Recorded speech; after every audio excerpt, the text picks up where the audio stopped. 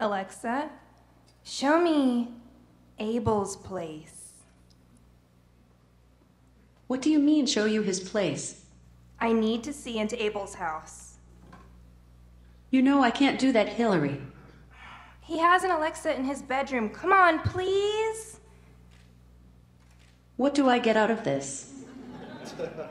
I will love you forever.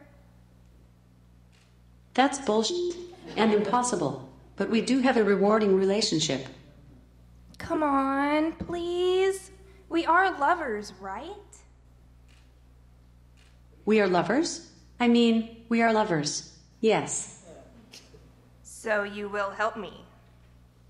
I will help you.